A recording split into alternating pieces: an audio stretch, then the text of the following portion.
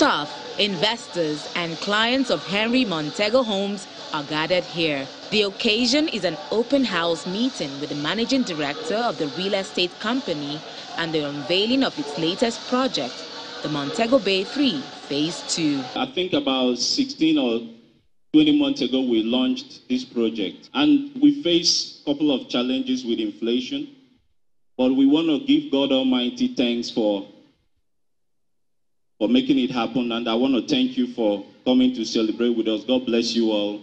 The Montego Bay 3 is a block of flats located in the upscale Ikate area of Lagos Island and a neighbor to the Meadow Hall School. The beautiful edifice comprises townhouses and three-bedroom flats, among others. It also comes with a gym, swimming pool, and children play area. A structure the real estate company calls affordable luxury. Henry Montego Homes is one of the most affordable real estate company, but giving the best luxury in the market, and yet spread payment for up to eight years. Most of the investors that bought this project bought it for some bought for even 40 million. Some bought for 60 million across five years payment. But today, the value of this property is 150 million. For friends and investors, this is the place to be. It's not my role what I did is what another banker would do when you see a good opportunity. You understand? After all, we're also making money in all of this.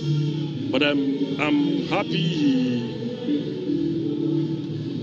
he has integrity to deliver on promises. So when I came in, I saw the building. I know I, I, I was just like, wow, you know, this is good.